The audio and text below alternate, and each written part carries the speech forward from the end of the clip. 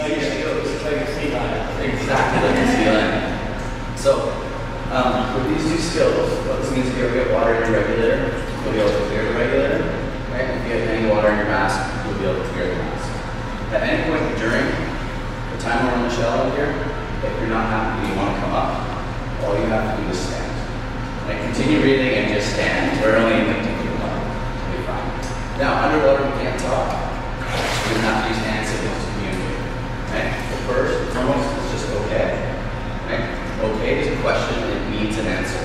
Right? So ask if you're okay. You either give a yes, not okay. This is we're going to stand up or we're going. Okay? It's a hard one to get over because at every point in your life, that is good. Right? That is not good here, that is we're going. Alright? So just okay.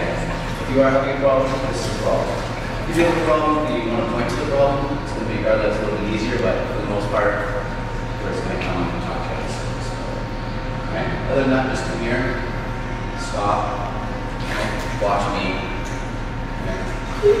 whatever you want. And so we'll do, we kind of do those couple times. One thing you want to do is as you start going down, there's enough depth here that you may feel a little bit of pressure in your ears. To get rid of that pressure in your ears, all you're going to do is plug your nose and gently exhale into it. Have you popped your ears before?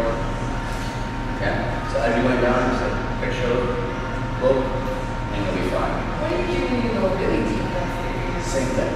Do you, do you wear like ear covers? It's just set, all you're doing is adding air from your lungs up into your sinuses and your ears.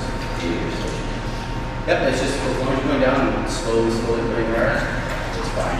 If for some reason you shouldn't have it in a step, do start feeling it, won't go away. Don't keep going down. Do not force. Don't keep trying to pull it into your. Just stop. It's not that deep. You guys have all swam with bones, probably already. You'll be fine. 大石头的那个